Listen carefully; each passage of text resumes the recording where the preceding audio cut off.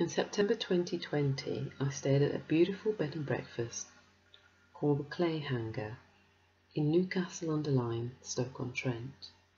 Stoke-on-Trent is the home of John Wedgwood, designer and manufacturer of crockery, potteries, for which Stoke-on-Trent is famous for. Just let you have a look around the premises.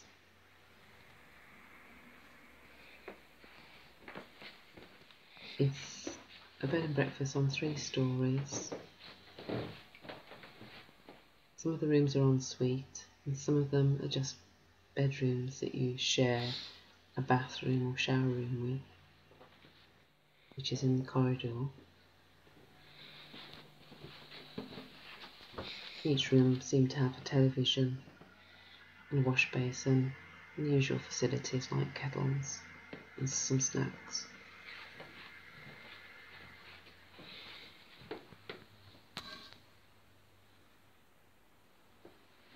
Yes, it appeared to be like two terrace houses that have been um, together. and this was one of the rooms that I first stayed in, the first um, time that I stayed there for a few days.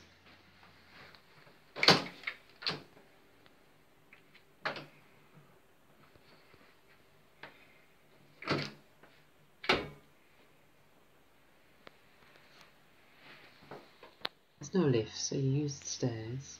And downstairs there's a breakfast room, which we will see later.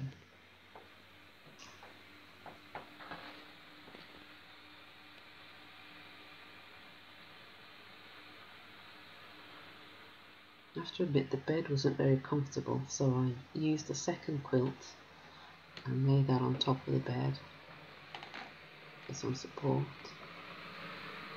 I like the idea of the velcro that they use to attach to the base of the bed as a valance. This room also had a fridge, a microwave, kettle, hairdresser, hairdryer, and a little wardrobe there as well.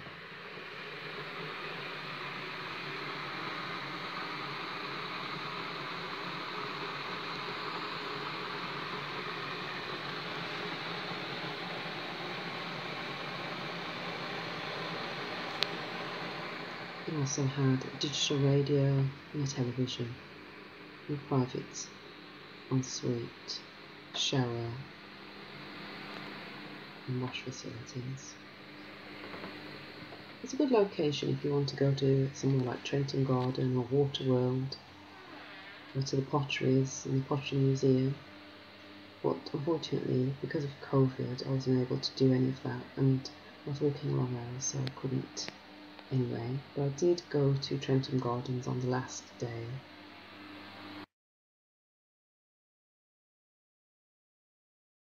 Kevin is currently the owner. They do a beautiful breakfast and they have a beautiful buffet breakfast each morning.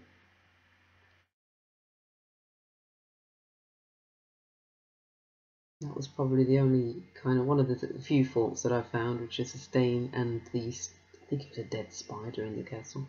But Kevin was very accommodating and he got me another kettle and of course some I used some wipes to wipe down the surface of the dresser because of well because of COVID as well.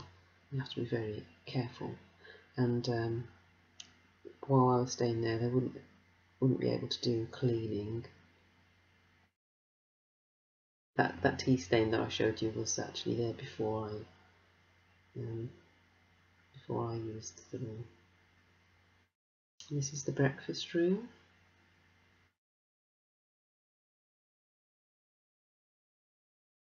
The whole place is quite beautifully decorated.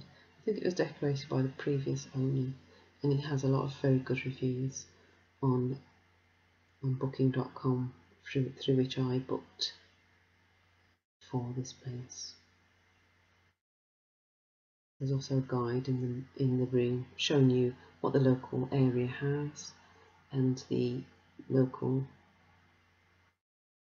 tourist spots that you can visit as well. There's also some local uh, shopping centre, I can't remember what it's called, and also cinema,